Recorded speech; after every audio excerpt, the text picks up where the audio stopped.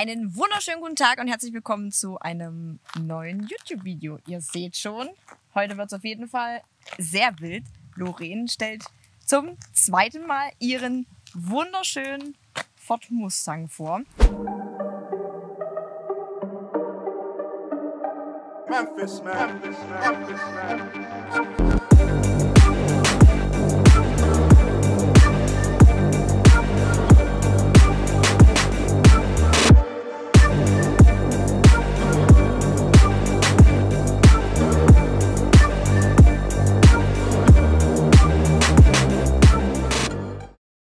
Erstmal vielen lieben Dank, dass du nochmal mitmachst. Ja, und gerne. es hat sich ja auch einiges am Auto Ja. verändert. Minimal. Also wundert euch nicht, ich filme heute mit dem Telefon. Es wird jetzt gleich mal wieder so sein, dass wenn ich das Telefon drehe, entweder seht ihr dann kurz nur die Lorraine, hört mich hinter dem Telefon oder ihr seht nur das Auto, also nicht böse sein. Uns fehlt nämlich heute ein Kameramann, aber Das kriegen wir hin. vielleicht für die Leute, die jetzt dein erstes Video nicht gesehen haben, machst du noch mal so eine kleine Vorstellungsrunde von dir, bevor wir zu deinem geilen Gefährt kommen. Genau. Also ich bin die Lorraine, ich komme aus Bamberg, ich bin 31 und der Mustang war schon immer mein Traum. Viele kennen ihn vielleicht noch mit einer Flip-Flop-Folierung, aber wir haben die Saison wirklich alles geändert. Aber was ich sagen muss, du hast wirklich einen sehr, sehr guten Geschmack. Also, Dankeschön. was hat sich denn hier vorne an der Front alles... Also ich muss, bevor ich überhaupt anfange, schaut euch mal bitte an, wie breit, böse, brachial dieses Auto einfach von vorne ausschaut. Vor allen Dingen ohne Kennzeichen von. Einfach geil. Einfach ein wunderschönes Auto. Wie viele Kilometer hat er jetzt drauf? Oh, ich glaube fast 60. Ich glaube, es müssten 58.700 noch irgendwas sein, ja. Vor zwei Jahren war das, wo wir das Video gedreht Genau, hatten, oder? 2020 im September oder Oktober müsste es gewesen sein. Da hatte er, ich glaube, so an die 20, 22, also ein bisschen recht. Oder ich bin Und recht viel gefahren. Ja. Ihr fahrt ja auch zu Treffen und du fährst ja auch vor der Meile mit Ja, dem Auto. genau. Ne? Was fährt er da für eine Zeit? Ähm, also mit den 19 Zöllern letztes Jahr hatte er äh, 13,6 Mhm. und dieses Jahr habe ich leider etwas einbüßen müssen mit den 20 Zöllern, da waren es 13,8. Ist aber trotzdem eine gute Zeit. Ja, Ja, erzähl mal, was hat sich denn jetzt hier alles verändert? Wollen wir direkt hier bei der Front einmal starten?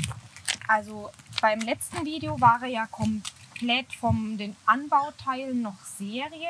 Da war lediglich die Folierung und eine Leistungssteigerung drauf. Dann hatte ich in 2021, ähm, hat er schon die Anbauteile bekommen, aber eben noch in der alten Folie und da waren sie nicht lackiert. Also wir haben hier einmal die GT 500 Front. Diese quasi die, die Lippe und diese Flaps sind. Gehört alles zu der Front dazu. Okay, und die, die mit hier Auch- hochgehen. genau. auch. Ah, okay, alles klar. auch wenn er so breit ist, man denkt immer, das ist nicht eingetragen, aber das ist wirklich auch beim Original Shelby so, ähm, dass er eben diese Wings so weit an der Seite hat, genau. Es schaut wirklich, es schaut einfach krank aus. Und wenn man es jetzt echt so sieht, denkt man erstmal so, okay, das ist bestimmt illegal, aber nein. Nein, das ist alles eingetragen, genau. Letztes Jahr waren die Anbauteile noch matt. Das hatte ich ja damals in dem ersten Video ein bisschen bemängelt. Ja. Klar, man muss immer das Preis-Leistungs-Verhältnis sehen. Deswegen habe ich ähm, alles lackieren lassen in der Winterpause. Ja, ich finde, es schaut einfach nochmal wertiger aus, wenn eben alles in dem Glanz schwarz und es ist auch zum Rest dazu passt. Also der Flügel ist ja auch lackiert, die Lufthutze ist ja lackiert. Also dass das alles ein bisschen ein stimmiges Bild gibt, genau. Aber die Hutze hat sie damals noch nicht drauf. Nein, oder? das ist die äh, Shelby Motorhaube. Und da sind auch wirklich echte Haubenschlösser verbaut. Also bei den normalen Hauben, die man bestellen kann, sind es meist nur so Plastikabdeckungen. Mhm. Und die sind eigentlich schwarz, aber durch das Waschen sind die jetzt silber geworden. Steht aber eben trotzdem auch im Silber, ne? Ja, Schaut, trotzdem- schaut trotzdem cool aus. also ich habe noch schwarze zu Hause. Ich habe mir die auf Ersatz bestellt. Das müsste man einfach nur noch mal ändern. Die sind dafür da, dadurch, dass die Nachbaufront leider nicht ganz so gut verarbeitet, also das heißt ganz so gut verarbeitet. Die Befestigung ist nur mit einer ähm, Kunststoffschlaufe, wo die Schraube durchkommt. Und zu 90 Prozent reißen sich alle Mustang-Fahrer die Front irgendwann weg. Und bei mir war das leider schon, ich bin nur Autobahn gefahren. Kann sein, dass ich irgendwie vom Einlenken her irgendwie blöd drankommen bin. Hat es mir die eben schon weggerissen und deswegen haben wir da diese Schnellverschlüsse in klein dran gemacht, damit sie eben, also die hält jetzt bombenfest, da passiert gar nichts mehr. Aber mit der Stoßstange ist dann gar nichts passiert, oder? Da, nee, die hing einfach Okay. nur weg. Gott sei Dank. Ja. Weil ich glaube, die ist bestimmt auch teuer. Ja, an die 1000, 1000 kostet die Stoßstange und 1000 die Haube. Und das Lackieren halt noch, ne? Ja.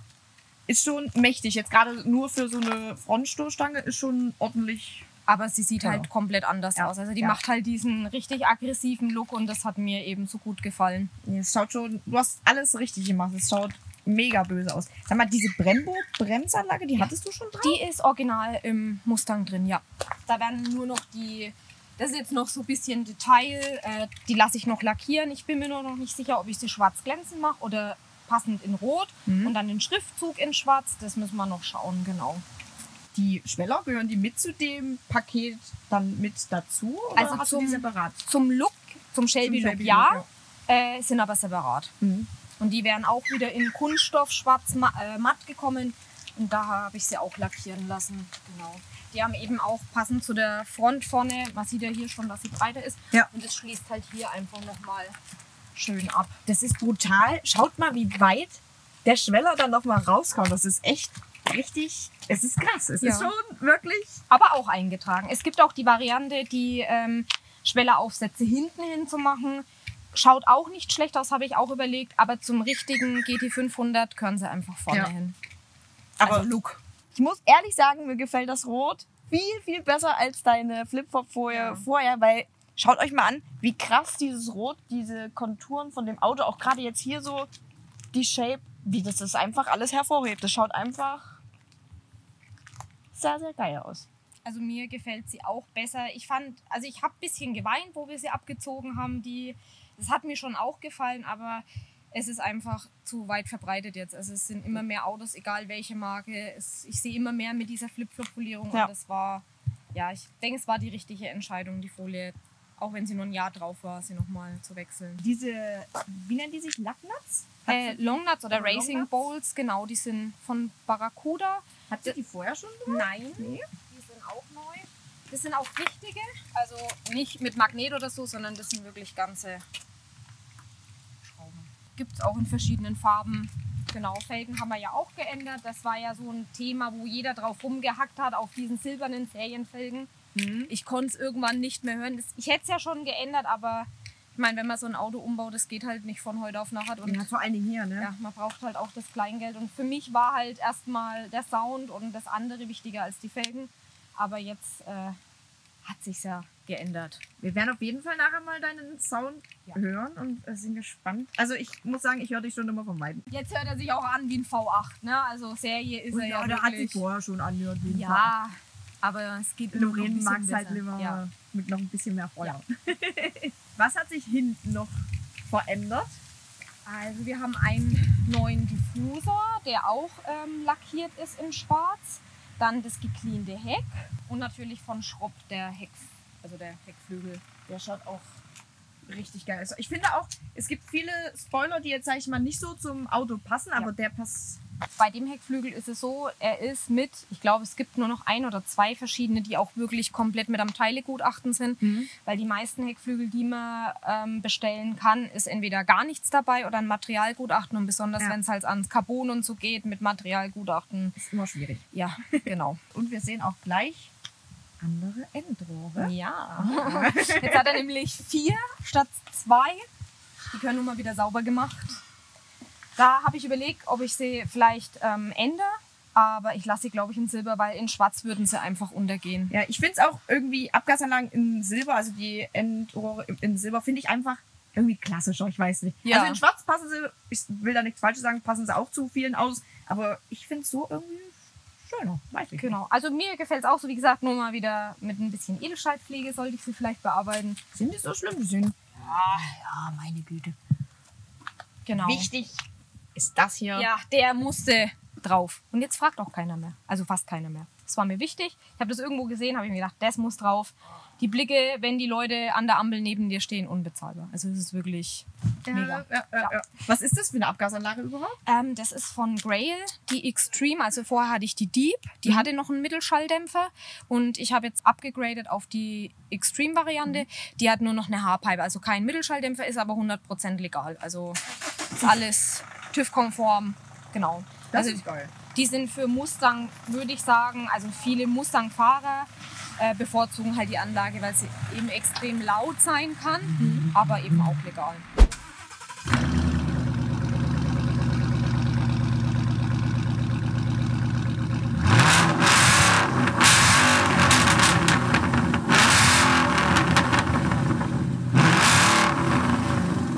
Hast du im Innenraum irgendwas noch gemacht? Ja, das Alcantara-Lederlenkrad. Dann machen wir hier kurz Genau. die Tür auf.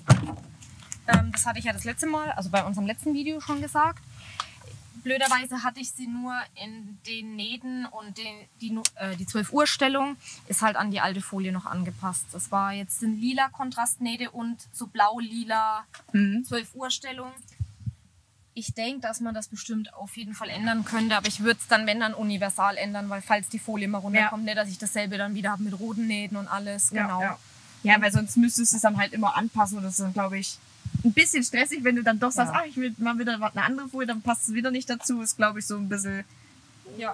Carbon-Schaltwippen habe ich noch und das ist auch das Einzige, was äh, Carbon in dem Auto ist. Und eben noch ähm, Shelby, also ja, Fußmatten im, mit dem Shelby, mit der Shelby-Unterschrift. Willst du im Innenraum noch irgendwie was machen oder sagst du, nö, das ist eigentlich so Also ich würde gern noch hier die ähm, Konsole folieren. in schwarz? Oder? Entweder in schwarz oder in so einem gebürsteten Schwarz oder Anthrazit, genau. Ähm, aber sonst, ich meine, man könnte schon noch das Display umbauen auf so ein Tesla-Display, was wirklich so ein riesen Computer ist. Aber das muss, finde ich, nicht sein. Nee, ich finde jetzt, wie du es wie du's jetzt schon sagst, nur das halt so ein bisschen jetzt im Innenraum störend, obwohl es jetzt eigentlich auch nicht störend ist, aber wenn es schwarz wäre oder dunkler, würde es, glaube ich, Ja. edler ausscha Ja. ausschauen, finde ich. Obwohl grundsätzlich, der Wagen kann noch so stimmig sein. Auf dem Innenraum hacken sie immer rum, dass ja angeblich so viel Plastik verbaut ist. Das war bei den älteren Modellen der Fall. Aber bei dem S550 haben sie sich schon echt Mühe gegeben. Wir haben ja den M2 im Vergleich zu Hause. Und wir müssen sagen, dass der Mustang eigentlich echt noch einen Ticken besser verarbeitet ist. Also, Also ich kann von dem Mustang Innenraum jetzt absolut nichts Schlechtes sagen. Ich finde es jetzt nicht schlimm. Man könnte die Sitze natürlich, gibt es verschiedene, die man sich aus den USA noch bestellen kann. Aber es ist das Problem, ich wollte unbedingt die Sitzheizung und die Sitzkühlung. Besonders wenn es so heiß ist, ist das schon echt äh, sehr nice. Praktisch. Aber das ist dann nicht immer kompatibel. Also es gibt das Ganze ja noch mit Recaro-Sportsitzen, aber eben keine Sitzheizung und keine Sitzkühlung. Und das, ja. Ja, ich glaube, gerade du fährst, du bewegst ihn ja schon als Alltagsfahrzeug im Sommer, oder? Ja. ja. Und dann ist es als Alltagsfahrzeug einfach besser, wenn du Sitzkühlung und Sitzheizung hast, ist schon angenehmer, als Ja. wenn du jetzt, sag ich mal, das Auto nur. Wenn es wirklich nur Schönwetterfahrzeug nutzt, dann okay, dann kann man vielleicht nochmal drüber reden, aber so alles richtig gemacht. Ja, man könnte jetzt natürlich auch noch den Innenraum, die Mittelkonsole mit Alcantara-Folie beziehen, aber das ist nicht so mein Ding, weil man sieht halt wirklich jeden Staubkrümel, jeden Fussel drauf und ich würde dann permanent mit einem Staubsauger die ganze Zeit drüber fahren. Also da bin ich voll der Monk. Ja. Das ist nicht so meine Welt, deswegen Habt ihr im Motorraum irgendwas gemacht? ähm, noch nicht. Also wir haben ja die Stage 1 drauf. Und einen äh, anderen Luftfilter, aber auch einen legalen, keinen offenen, weil der würde in Kombination mit der Abgasanlage nicht mehr gehen, dann wäre das nicht mehr legal. Deswegen wird da auch nichts gemacht. Wir machen jetzt nur, also ich habe mir die Ansaugbrücke vom Facelift gekauft. Die wird jetzt im August noch eingebaut. Dann hat er noch ein bisschen mehr. Beim Sauger, wie gesagt, geht nicht viel. Wir müssten jetzt so circa 465 bis 470 haben. Und die Ansaugbrücke könnte, wenn wir Glück haben, wenn wir es nochmal abstimmen, also die Drosselklappe muss auf jeden Fall noch abgestimmt werden, so 490 bis 500 müsste er dann haben. Und dann gibt es wirklich nur noch Kompressor. Also da ist dann Ende. was, was hat der Original? 421, das Modell. 421, mhm. Das Facelift hat 450. Deswegen auch die 30 PS, die die Ansaugbrücke wahrscheinlich mehr bringt. Andere Frage. Bist du jetzt so zufrieden mit deinem Auto oder sagst du, ah, nee, Doch, da Doch. bist jetzt Ich wüsste nicht, was ich, also was ich noch mehr machen könnte. Man könnte natürlich noch andere Kotflügel im GT500 Style was, anbringen. was, was ist da anders in die Breite? Oder? Die sind etwas breiter und ich glaube, die haben hier noch einen Lufteinlass, wenn mich nicht alles täuscht. Aber damit habe ich mich noch nicht so auseinandergesetzt, weil das ist jetzt was, was nicht unbedingt sein Ja, muss. ja. Ähm, ja, Gewindefahrwerk habe ich ja jetzt drin. Von wem ist Äh, das? S, das ist das STX. Mhm, mhm. Also es reicht mir auch, weil ich fahre ihn ja im Winter nicht. Deswegen ist es nicht so schlimm, wenn es kein Original KW ist. ja, ja. Und für meine, also für das, was ich fahre, reicht mir das völlig aus. Weil der Mustang kann ja eh nur geradeaus fahren. Ne? Kann ja keine Kurven fahren. Da kommen dann wieder die Hater, ne? Nee, das passt.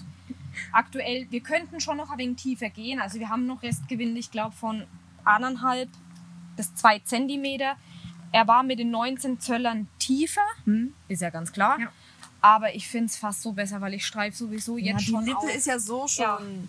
Ich finde das eine ganz schöne Höhe. Es schaut sportlich aus und ich glaube, wenn du noch tiefer gehst, musst du halt, glaube ich, noch mehr auf die Lippe aufpassen und irgendwann Ja. macht es dann, glaube ich, beim Fahren keinen Spaß mehr, Ich- wenn du auf so jedes Blatt achten musst. Ja, und ich komme im Nürnberger Raum eigentlich nur noch in ein Parkhaus, also in, in den Erlangener Arkaden, sonst keine Chance. Also ich habe wirklich da einfach viel zu viel Angst, dass irgendjemand mir dann die Front in der Einfahrt runterschrauben muss, Ja, weil ja. wir stecken bleiben oder irgendwas. Ne? Vor allem, wenn ihr mal Lorraine seht, grüßt sie mal freundlich auf der Autobahn. also saß sie quasi so, wie er jetzt dasteht, bist du jetzt zufrieden, weil beim ersten Video hast du gesagt, ja, Ja. das können wir noch machen, Ja, wir aber machen. also das Einzige, was ich jetzt noch machen würde, ähm, sind sequenziell blinkende Heckleuchten, die gibt's. Mhm. Ähm, das würde ich jetzt noch ändern und es gibt neue Frontscheinwerfer aus LED, die haben dann hier oben, also nicht mehr dieses Auge, Mhm. sondern die haben hier so einen LED-Streifen. Die schauen auch richtig, richtig gut aus. Das wäre jetzt noch so ein bisschen Kleinigkeiten, aber sonst steht er für mich eigentlich so, wie ich ihn wollte. Was hat es jetzt eigentlich mit diesem Sticker auf sich? Mit Crowdhunter. Ja. Da gibt es eine lustige Geschichte. Ich war auf einem Treffen im Osten bei einem DB-Contest. Und da hat dann der Moderator gesagt, ja, äh, passt auf, der Mustang fährt vorbei, wir kennen ja alle, wie es ausgeht, macht lieber Platz und da ist auch noch eine Frau am Steuer. Dachte ich mir, okay. Ja, Oh, man muss nur mal Mustang-Meme eingeben, dann merkt man das. Es ist halt in den USA schon leider ein paar Mal passiert. Jetzt das- gibt es so ein paar Mustang-Fails, wo sie driften und driften Ja, dann in die Laternen Menschen oder in die ja. Menschenmenge, deswegen Crowdhunter. Ja. Massenjäger. Aber ich fand's lustig, weil, wie gesagt, jeder immer das so das Mustang, wenn Mustang immer diese Meme im Kopf, habe ich mir gedacht, gut, machen wir einen Spaß draus. Ich hatte euch ja noch die Chance gegeben, zu Lorraine oder ihrem Mustang nochmal Fragen zu stellen. Und ich hätte gesagt, wir switchen jetzt einmal in die Fragerunde. So, heute mal ganz professionell mit dem Stativ werden wir unsere Fragen beantworten. Starten wir mit der ersten Frage. Der Mustang ist absolut genial und mega geil. Und dass er von einer Frau gefahren wird auch und, und auch designt wurde, spricht für Lorraine und ihr tolles Polycar Dankeschön. kann sich mancher Mann aus der Tuning-Szene eine dicke Scheibe von abschneiden. Das war jetzt zwar keine Frage, aber das war ein dickes, fettes, geiles Das freut mich natürlich umso mehr. Kompliment. Also sowas zu hören ist, und gerade von den Männern ist einfach... Ja, sehr schön. Es geht wie Öl runter, ne? Ja. Hallo Lorraine, wurde der Motor getuned? Ja, also wie im Video schon gesagt, ähm, Stage 1 hat er jetzt und im August bekommt er Stage 2 mit der anderen Ansaugbrücke, genau. Hast du das Design nach deinen Wünschen machen lassen? Ja. Ja. Also ich, gut, ganz. Ich wollte eigentlich eine Folie, die mehr ins Bordeaux-Rot geht. Ich habe auch das ganze Internet durchgesucht. Es gab auch mal eine, äh, die, also wo ich ein Bild hatte, dass ich es genauso haben will von der Farbe her, aber die ist äh, leider nicht mehr lieferbar gewesen. Also schon seit zwei Jahren nicht mehr, deswegen. Wie, wie bist du dann auf die gekommen? Hast du dann auch einfach im Farbfächer gesehen? Genau. Ja. Ich wollte dann irgendwas Auffälliges Mhm. und dann habe ich mir gedacht, rötliche Richtung, so soll es werden. Sieht geil aus. Bei mir in der Nähe ist ein Händler mit ca. 30 Mustangs. Da schaut er gerne immer mal vorbei. Viel Spaß mit dem schicken Fahrzeug. Dankeschön. Nicht schlüpfrig gemeint, geht ja bei dem Grenzen ausloten, was? Grenzen auslotsen mit dem Kfz auch mal, auch mal der Schlüppi. Also ich hatte ähm, zweimal den Fall, wo er mir ungewollt ausgebrochen ist. Ich habe ihn aber immer wieder gut fangen können. Aber natürlich denkst du dir erstmal in dem Moment, oh shit, Mhm. was passiert hier jetzt? Ne? Aber Respekt vor dem Auto ist immer noch da, nach wie vor. Aber man kommt immer besser zurecht. Also man hat, weiß, wo man hingehen kann, wo man aufpassen muss. Ähm, aus Kurven raus beschleunigen ist mit dem Mustang, mm -mm, das ist ein richtiges Heckmonster. Und bei nasser Fahrbahn fahre ich sowieso total ungern, weil da hat man ihn kaum noch unter Kontrolle. Also Ja. ich habe jetzt schon eine größere Bereifung hinten drauf und auch echt gute Reifen, aber ich will es nicht ausreizen. Es muss nicht sein, dass ich mir meinen Traum zerschieße wegen, Wegen Quatsch machen wegen oder Quatsch machen oder sowas. Das genau. ist es dann auch nee, nicht. das ist mir überhaupt nicht wert. Da schreibt jemand, oh jetzt, jetzt wird's interessant. Ich kann fast nicht glauben, dass dieses Auto einer Frau gehört. Doch, das gehört mir. Aber mit solchen Kommentaren hat man, glaube ich, als Frau, wenn man ein geiles Auto fährt, Und ist auch nicht geleast. ja, ich glaube immer so ein bisschen zu kämpfen. Oh, jetzt Ja. kommt, oh, jetzt kommt der Ordner.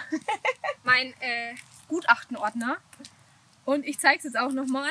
Das ist wirklich mein Auto. Aber dein Ordner für die ganzen Eintragungen, der sieht auch schon ganz dick gefüllt aus, ne? ist auch ganz wichtig.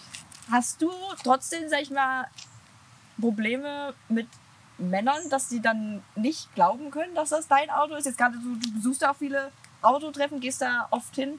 Kommen da dann manche zu dir und sagen irgendwas Blödes oder hat sich das jetzt gemildert? Also es ist besser geworden, nachdem uns jetzt wirklich Bamberg, Nürnberg so, es spricht sich natürlich in der Szene rum. Ähm, man kennt uns ja auch zu zweit. Ähm, mein Mann fährt ja den orangenen M2 und es wurde immer weniger. Also je mehr man die Leute auf Treffen sieht oder so und sich an die Autos erinnern kann, dann wissen die okay. Aber es gibt natürlich immer noch die ein oder anderen Ausreißer. Besonders bei German Race Wars war das ja so. Ah. Das war ja schwierig, schwierig, ja. Nächste Frage. Wie zahlt sie ihren Sprit und wie hoch ist der Verbrauch? Also ähm, ich bin vor zwei Wochen nach Hamburg gefahren mit Tempomat 135 km/h. Da habe ich 10 Liter verbraucht, wirklich. Also ich bin mit einer Tankfüllung nach Hamburg gekommen. Durchschnittlich, wenn man gediegen und auch wenn sportlich fährt, 12,5. Ähm, ich arbeite Vollzeit in einem Möbelhaus und ich habe nebenbei noch ein Nagelstudio. Also ich habe so eine gefühlt 50-Stunden-Woche. Das ist einfach mein Ding. Ich weiß, wofür ich das mache und damit finanziere ich natürlich auch das Auto, den Sprit, die Anbauteile und alles, was dazu gehört. So, da wären wir schon am Ende vom Video angekommen. Erstmal, Lorraine, vielen lieben Dank, dass du zum zweiten Mal dein Auto vorgestellt hast. Hat sich ja nun wirklich einiges getan. Falls ihr trotzdem noch irgendwelche Fragen habt zu Lorraine, könnt ihr die gerne unten in die Kommentare hauen. Ich packe euch auch Lorenz Instagram-Seite oder ich packe einfach alles unten Alles rein. in die Infobox rein und da könnt ihr gerne mal vorbeischauen. Ansonsten hoffe ich, euch hat das Video gefallen. Lasst einen Daumen nach oben da und wir sehen uns beim nächsten Video. Macht's gut!